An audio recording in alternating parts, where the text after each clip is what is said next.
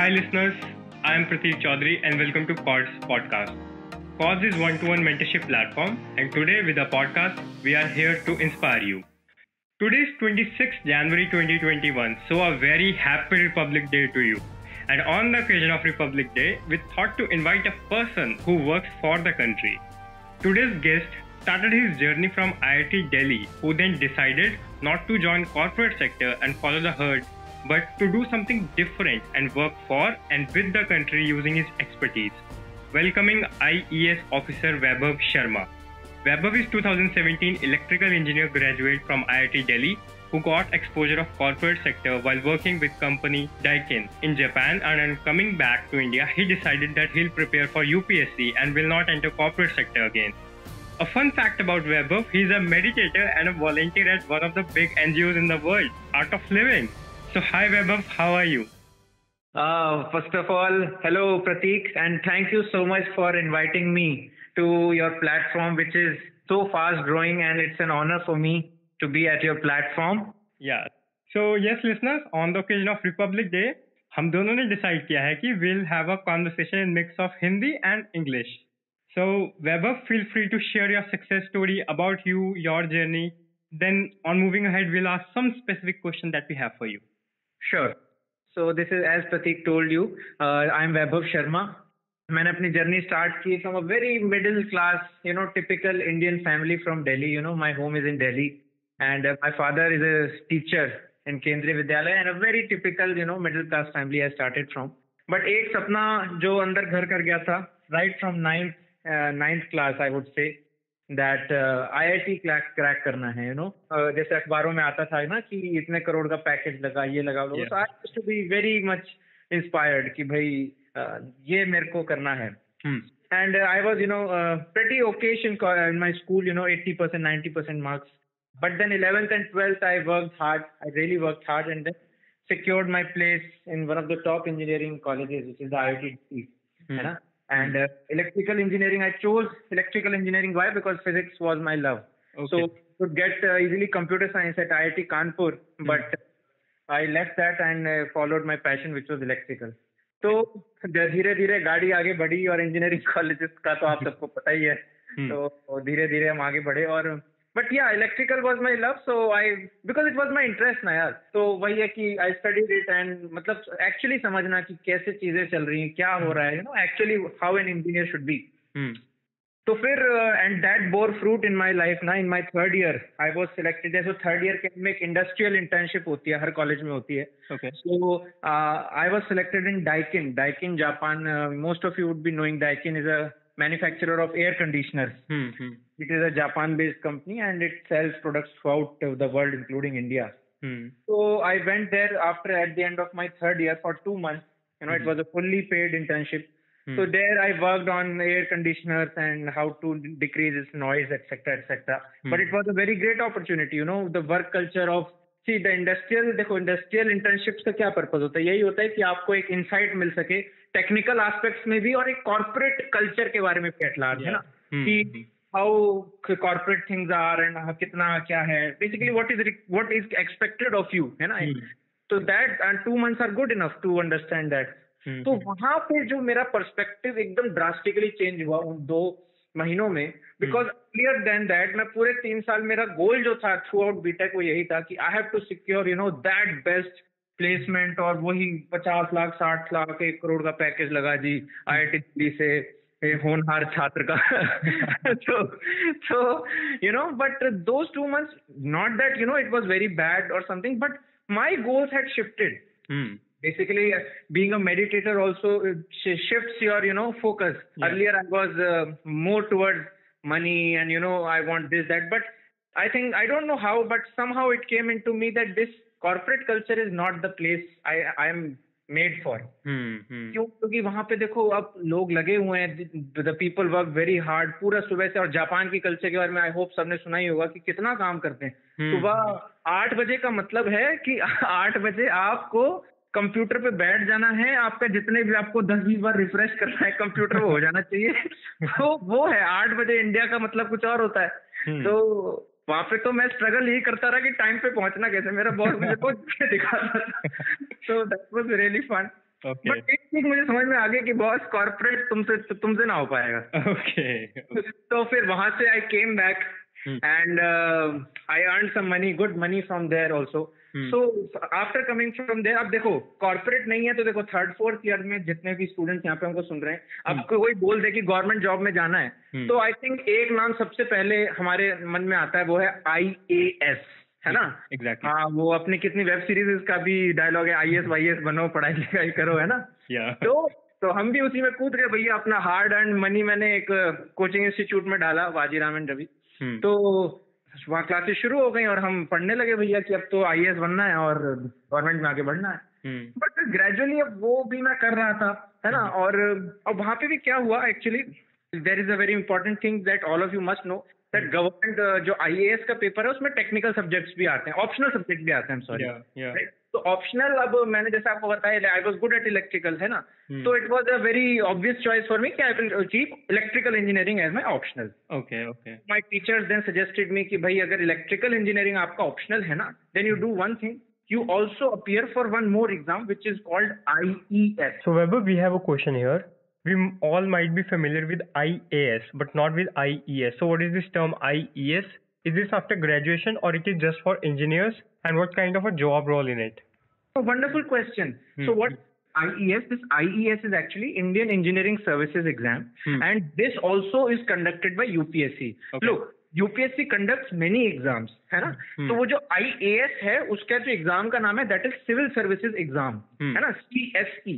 Similarly, UPSC conducts many exams like Defense Services exam. Hmm. Similarly, there is an exam called Engineering Services exam or ESE. Okay. Okay. Hmm. तो उस engineering services exam में जो लोग बैठते हैं और जो सेलेक्ट होते हैं Hmm. उनका रिक्रूटमेंट होता है for the engineering services of the central government अब Hmm. सेंट्रल गवर्नमेंट में कौन कौन सी सर्विसेज़ हैं देखो अगर आप देखोगे first of all is railways Hmm. है ना Hmm. Railways is a central government service वहाँ पे आपको इंजीनियर्स की ज़रूरत है Hmm.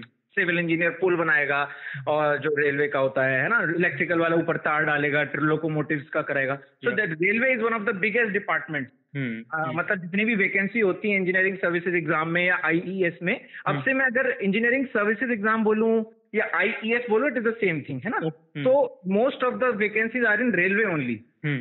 But there are many other departments like the one I am working right now is CPWD central public works department okay है ना? This is second biggest department तो central public work department क्या हो गया? Central public work अब public work क्या होते हैं? पुल बनाना। Hmm. ठीक है? जो normal not related to railway जैसे IIT banana. Currently I am working at IIT Ropar okay जैसे आईआईटी रोपड़ का कंस्ट्रक्शन हो रहा है। बहुत सारी थर्ड जनरेशन आईआईटी भी जैसे बन रही है। जैसे. IIT Ropar is one of them IIT Palakkad बन रही है. आईआईटी धरवाड़ बन रही है। है ना. So CPWD is with the infrastructure development border fencing के काम हो रहे हैं border fencing CPWD is a very diverse organisation Okay. Okay. Another organisation is naval navy में इंजीनियर्स जाते हैं Hmm. Naval engineers then defence services defence services defence engineers then there is this telecommunication और इसमें सबसे important बात यह है कि इंजीनियरिंग सर्विसेज़ एग्ज़ाम कौन कौन ब्रांच के लोग दे सकते हैं है ना Hmm. तो it is conducted for four branches it is civil engineering Hmm. Electrical engineering Hmm. Electronics and telecommunication. And fourth is mechanical Okay. Hmm. तो इन फोर ब्रांचेस में एक्चुअली एग्ज़ाम कंडक्ट किया जाता है now important thing here to note is that आपको जो pre requisite है ना इस एग्ज़ाम के लिए वो इसकी डिग्री नहीं है आप हो सकता है कंप्यूटर इंजीनियर हो फिर भी आप इलेक्ट्रिकल में एग्ज़ाम दे दो that is perfectly allowed. Okay. तो this is it so so prerequisite इसका यही है कि आपके पास एक बीटेक की डिग्री होनी चाहिए Hmm. बस यही है और उसके बाद आपको ये चार स्ट्रीम्स में यूपीएससी एग्ज़ाम कंडक्ट करेगा यू आप फॉर्म भरते समय भरोगे हाँ I want to opt for civil generally क्या होता है इलेक्ट्रिकल और इलेक्ट्रॉनिक्स थोड़ी क्लोज ब्रांचेज हैं. दोनों में क्या होता है ना यू कैन जनरली ऐसा होता है इलेक्ट्रॉनिक्स वाले इलेक्ट्रिकल से निकालते हैं। जनरली यही होता है बिकॉज़ इलेक्ट्रिकल में क्या है ना there are more option and good departments are eligible for agri.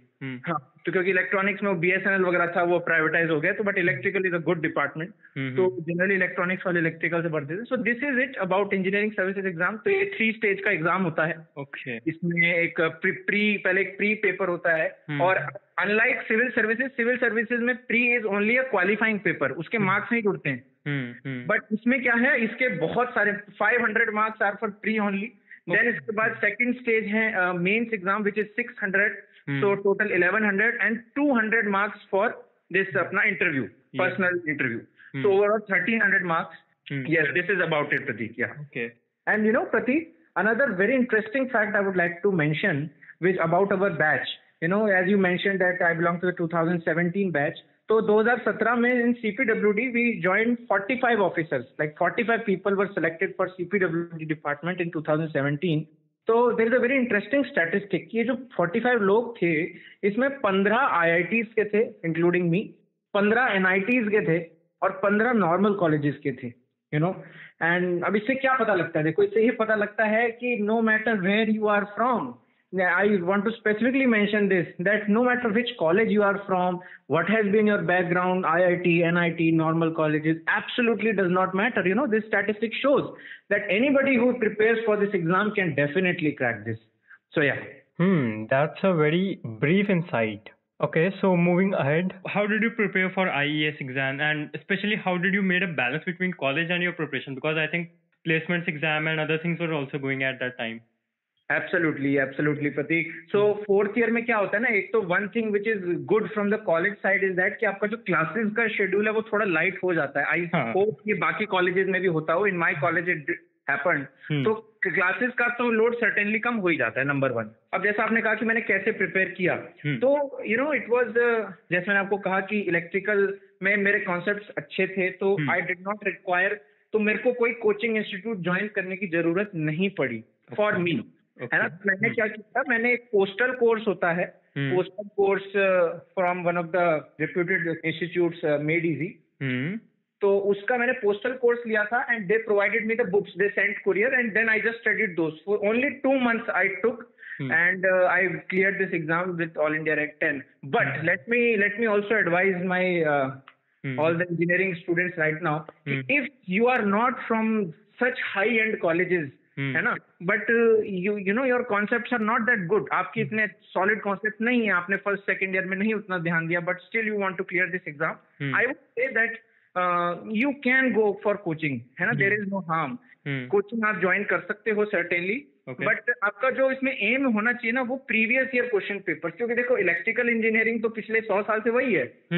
तो उसका पेपर भी हर साल वही आता है। जैसे सिविल सर्विसेज़ एग्ज़ाम में तो क्या है ना आईएएस वाले में तो अब जीके तो कहीं से भी आप पूछ लो। तो उसका तो कोई और छोड़ नहीं है but this is engineering services exam है ना तो this is very it is very much restricted paper and every year is it is repetitive only तो अगर अगर आपने प्रीवियस ईयर क्वेश्चन को सॉल्व कर लिया फॉर द लेट्स से आपने 10 15 साल के क्वेश्चन पेपर पिछले साल के आपने सॉल्व कर लिया आपको समझ में आ गया कैसे? तो फिर I think it will be obvious to you also Prateek कि then the selection is guaranteed ना? कि अगर 10-15 साल का अगर आपने इंजीनियरिंग का पेपर सॉल्व कर लिया तो इस बार क्या डिफरेंट आने वाला है? एग्जैक्टली एग्जैक्टली बिकॉज़ सिलेबस तो वही है इंजीनियरिंग का। Exactly exactly so that is your aim कि आपको और 10-15 साल का previous year question paper solve करने के काबिल बनना है। तो अब उसके लिए या तो आप उसको I would suggest to my juniors कि you go through the papers Okay. If you think that you know by yourself only you will be able to understand और मतलब मोस्टली तो यू नो और बस थोड़ा सा ही कसर बाकी है तो आप खुद कर लोगे जैसा कि मेरे केस में था। बट अगर आपको ये लग रहा है कि नहीं यार ये तो जैसे कंट्रोल इंजीनियरिंग का कोर्स था उसमें तो मैंने बिल्कुल ही कुछ नहीं किया था। और क्वेश्चन देख के लग रहा है कि बॉस ये तो बिल्कुल मैं खुद करूँ तो भी नहीं कर सकता हूँ then you go for coaching okay any time management और रिलैक्स करने का कोई टिप्स एब्सोल्युटली एब्सोल्युटली देखो ये तो मैं बताऊँगा कि for any competitive exam you know I A S I E S CAT any exam you know these exams are very much pressure lot of pressure comes with them because हम कितना भी बोल रहे कि अपना हाँ अपने एफर्ट्स पे ध्यान दो फल की चिंता मत करो but still you know stress comes it's very natural तो करने के लिए you have to close your eyes and meditate and personally I have been associated with art of living Hmm. Uh, luckily तो this has helped me hmm. tremendously let me tell you tremendously मेरा एक घंटे की पढ़ाई मतलब easily I would safely say hmm. 40 50 minutes uh, efficiency which okay. is quite uh, I have not seen in many others. Hmm. It's impressive, yeah. Hmm. Okay. A any books or study material you can suggest on? Yes yes, तो आप एक तो postal course जैसे study material आपको दिल्ली में जैसे हौस खास का जो एरिया है ना वहाँ पे बेस सराय करके एक इलाका है वहाँ पे प्रिंटेड नोट्स मिलते हैं। तो आप प्रिंटेड नोट्स ले सकते हो किसी भी कोचिंग के जैसे मेड इजी हो गया या एस एस इंजीनियरिंग है है ना? और आईईएस मास्टर है इनमें से किसी भी एक का आप पूरा कंप्लीट सेट खरीद लो। तो उसमें पूरे इंजीनियरिंग की किताबें आती हैं और जो भी एज पर सिलेबस है तो वो सारा आपको मटेरियल मिल जाएगा एंड दैट्स इट उसके बाद आप खुद भी शुरू कर सकते हो या फिर अगर आप उनकी कोचिंग में एनरोल करोगे तब तो आपको बुक्स मिलेंगी मिलेंगी। तो I would say that this is how you should go about it okay Prateek I would also like to add कि if you want to really aim at the top ranks तो हम्म। आपको ये coaching का तो करना ही पड़ेगा। साथ में अपने एफर्ट्स भी डालने पड़ेंगे जो इनकी बेसिक बुक्स है ना जिनसे हमको कॉलेज में पढ़ाया गया था हम्म, हम्म, उनको भी करना पड़ेगा। इनफैक्ट कोचिंग वाले वो रिकमेंड कर भी देते हैं कि हाँ इसके सिग्नल एंड सिस्टम के लिए ओपन हैम पढ़ लो या इसके लिए ये पढ़ लो। तो वो तो हर एक उसकी सेट बुक्स हैं उसके लिए आपको बहुत सारे इंटरनेट पे ब्लॉग्स मिल जाएँगे या है ना even so this is it so you search about them and but this is it this complete package which I am telling you here कि कोचिंग का material plus this college books this will ensure that you know and finally previous year papers absolutely mandatory for this exam मतलब ज़्यादा कुछ करके previous year paper नहीं किए तो selection नहीं होगा। प्रीवियस ईयर पेपर ज़रूर करने हैं तो I think selection is guaranteed okay okay so however why didn't you go in I S and just settle for I S because you are from I I T first thing that and because anyone who choose to clear UPSC they target for I S so why did you didn't go they very interesting question Prateek तो मैं जैसे story अपनी सुना रहा था तो it was left in between तो हम्म। भाई देखो मैं जापान से आ गया और ये तो क्लियर था कि अब गवर्नमेंट में जाना है। तुम यकीन नहीं करोगे मैंने अपना जितना भी वहाँ से I earn about rupees one lakhs from there from the internship and I put my entire money in I A S institute Vajiram and Ravi को मैंने पैसे दे दिए और मैं वहाँ पे पढ़ने लगा for I A S exam in my fourth year this is my fourth year going on ठीक है? बट हम्म। वहाँ पे फिर किसी ने मुझे सजेस्ट किया कि you go for I E S also क्योंकि तुम्हारा ऑप्शनल सब्जेक्ट तो इलेक्ट्रिकल इंजीनियरिंग है okay. तो फिर मैंने इसका सिलेबस देखा और एक महीने पढ़ने के बाद आई गॉट द फीलिंग कि आईएएस का एग्ज़ाम देखो I was a very technical person है ना being from IIT Delhi my electrical was strong तो अब जो जीके वाली चीज़ थी कि हिस्ट्री ऑफ़ इंडिया कि hmm. किस तात्या टोपे ने किस गोरे को मारा और ये सब that was a tough thing for me है ना hmm. तो अब वो सब मेरे को थोड़ा इशू भी आ रहा था यार रटने की मेमोरी बहुत ज़्यादा अच्छी नहीं मेरे पास तो hmm. मैंने आईईएस का खोला कि भाई इसमें देखता हूँ इसमें क्या है? Then I was so happy और मुझे लगा कि dude this is the thing for me you know सरकार ने एक इंडियन एडमिनिस्ट्रेटिव सर्विस बनाई है एक इंडियन इंजीनियरिंग सर्विस बनाई है तो वो सोच के बनाई है ना कि यहाँ पे इंजीनियर्स hmm. चाहिए यहाँ पे एडमिनिस्ट्रेटर्स चाहिए.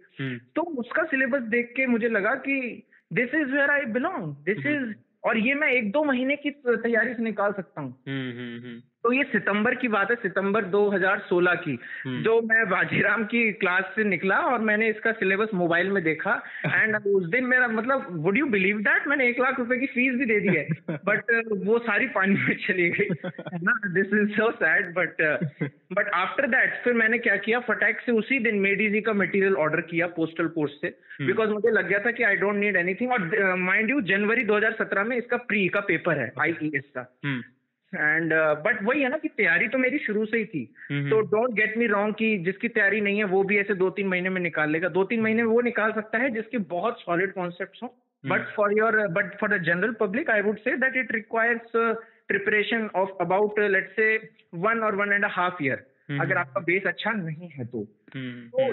That's how I came to know about I E S तो this is about personal choice ना कि अब hmm. जैसे अगर आपको इंजीनियरिंग में ज़्यादा इंटरेस्ट है hmm. और you love engineering and you want to serve the country so I think IES was a very natural choice for me okay okay Right. You, feel, very connected when you heard about IES. So you just absolutely, absolutely. Then my current current rule अभी जैसे मैं IIT में मैंने बताया कि you know I am working as in here तो अब यहाँ पे जितनी भी इलेक्ट्रिकल की चीज़ें हैं फॉर एग्ज़ाम्पल फैंस हुए लाइट्स हुए वायरिंग हुई सेंट्रल एयर कंडीशनिंग हो गई लिफ्ट हो गई. Plus hmm. आजकल बहुत सारी मॉडर्न सर्विसेज़ आ रही हैं बिल्डिंग मैनेजमेंट सिस्टम होता है जिसमें ऑटोमेटिक लाइट्स वगैरह. तो वो सारी चीज़ें उन सब के technical approvals you know all those things so these are very technical and मतलब उसको इंजीनियरिंग कर सकता है उसको कोई भी नहीं कर सकता है। Exactly very true so being an I S officer you must be travelling and working so how is I S officer life what's comfort travel time tell something about your life हाँ। अब देखो it's dependent on the department you choose जैसे मैंने आपको पहले भी बताया था कि IES is a very broad name जिसके अंदर बहुत सारे डिपार्टमेंट आते हैं ठीक है? hmm, तो अब mostly it is railways 80 percent of IES are in railway only तो I would first answer from railway point of view तो रेलवे में क्या होता है? जैसे अगर आप सिविल इंजीनियर हो तो जैसे फ़र्स्ट आपकी जो पोस्टिंग होगी ना उसमें there will come certain area under you आपके अंडर एक पर्टिकुलर एरिया आएगा. और रेलवे तो आपके अंडर इतने एम्प्लॉयज़ होंगे मतलब एटलीस्ट आपकी जो फ़र्स्ट पोस्टिंग होगी ना उसमें 800 employees will report to you. Okay. This is Hmm. 800 लोग मतलब फ़र्स्ट पोस्टिंग इमेजिन आप बीटेक से भी बाहर आए हो और बाल सफ़ेद हैं वो आपको डायरेक्ट रिपोर्ट करेंगे. So railway is an absolutely good department Hmm. तो उसमें क्या होगा? आपके अंडर एक सर्टेन एरिया आएगा. उसके आप रिस्पॉन्सिबल हो गए उसके चेक्स करने के. आपको कोई डिफेक्टिव लग रहा है गेट इट रिप्लेस है ना? तो दिस इज़ अबाउट रेलवे तो ट्रैवलिंग तो जो भी आपका एरिया होगा उसमें एकदम फ्रीक्वेंटली आपको करनी ही पड़ेगी. Hmm. बट और उसमें ये भी है कि रेलवे में why I didn't go for but railway is a very demanding department उसमें क्या है ना ये चौबीस घंटे हमारी ट्रेनें चल रही हैं Hmm. दिवाली होली पे तो और स्पेशल ट्रेनें और चलने लगती हैं है ना Hmm. तो railway is a very you know very prestigious but very demanding department.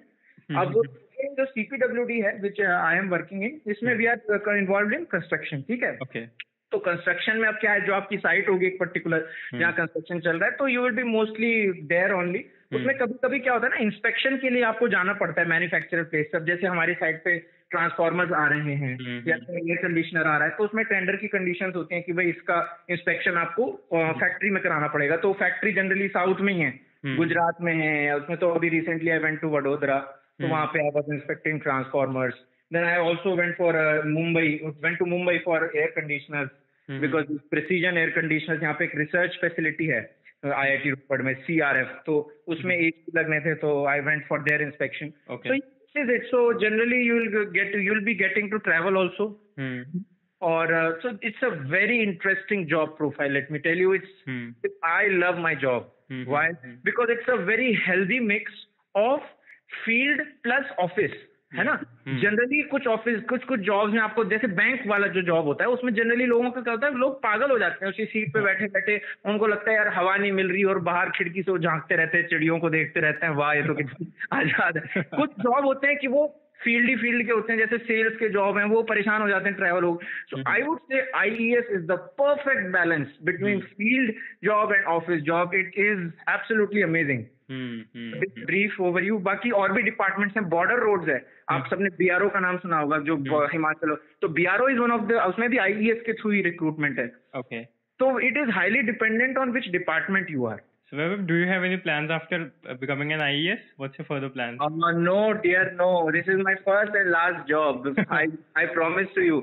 Generally, people like me are very less. Generally, people मतलब they do go for IAS also क्योंकि मैंने जैसे आपको बोला था ना कि IAS में मैं करना चाहता था और मेरा ऑप्शनल सब्जेक्ट इलेक्ट्रिकल था तो तो कई लोगों का ये होता है कि हाँ IAS को भी एज ए बैकअप प्लान लेके चलते हैं वहाँ सिलेक्शन हो जाता है but and they keep preparing हो भी जाता है मतलब आई हैव मेनी फ्रेंड्स जो भी आई में जिनका सिलेक्शन हो गया है but personally for me this is the place where my heart is there and I absolutely love my job. That's very nice. So I think we have covered everything, we have. Any last closing line or anything you want to say or suggest something? देखो भाई अ, मैं तो कहूँगा ये job बिल्कुल अगर third fourth year में आप हो और आपको लग रहा है कि हाँ गवर्नमेंट सर्विस में आप आना चाहते हो थोड़ा भी अपने ऊपर कॉन्फिडेंस है कि हाँ अगर कोई मेरे को अच्छी गाइडेंस दे दे कोई मतलब अगर आपको अपनी इस एबिलिटी पर भी भरोसा है ना कि कोई मुझे समझा देता है तो मैं समझ जाता हूँ। hmm. currently it, it may be the कि आपके कॉन्सेप्ट अच्छे ना हो क्योंकि आई नो द हालत of our engineering colleges and faculty but it is not so good it is not very promising so it is mostly listeners का भी यही होगा कि you know they are helpless or but अगर आपको अपने ऊपर confidence है ना कि given the right guidance you can you can do you have this faith in yourself then let me tell you friends go for this service plus the service to the nation Yeah, exactly. Serving to the nation. Yeah. Absolutely. on this Republic Day, you know, I would like to uh, greet all my young young fellows, and uh, this, this job is an absolute inspiration, and this worth going for it. Vaibhav, it was really a motivational session. So much insights. And this was special podcast because all the podcasts we have recorded till now are with corporate person, but This was the very first podcast with someone who is working for the nation. So such a positive mindset you have, and our listeners would be loving it. I'm sure. Thank you. Thank you so much for coming. Yeah, and Pratik, I must say that the platform that you have made is such a nice idea. You know, like uh, our generally third fourth year में लोगों को क्या होता है they are clueless of what to do and getting the guidance from the people who are right there. You know. This is something which you cannot really directly search and so I must congratulate that this is a much needed uh, um, अगर ये मेरे case में होता तो मेरे एक लाख रुपए बच गए होते so I must uh, say but there I दुरुस्त है I must congratulate you और मैं वो आई एस के प्रति जो मेरा एक डाइवर्जन था I would say that I would have saved it है ना? But look at my life में अगर वो मेरी लाइफ में होता तो मेरी लाइफ में वो एक महीना बच गया होता so much money I would have saved वो राइट डायरेक्शन की बात है so very good by you you know we are self face this problem of having a right guidance so who can give the right guidance people like you who are working in that field who are experts of this field so why cause is here? But but thank you so much. That means a lot. Right, Pratik. All the best, dear. All the best. So, listeners, that's all for today, and see you next week with a new industry expert and a new story to learn from. Till then, stay tuned. Podcast Cods.